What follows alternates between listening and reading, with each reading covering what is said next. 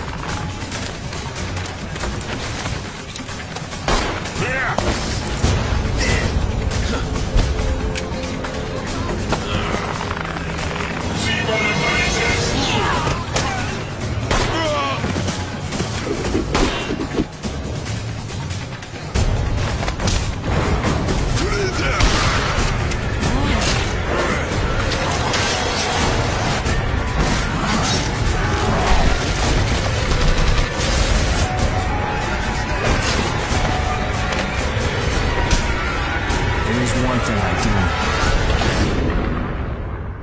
I have a job to do, and I'm gonna see it through.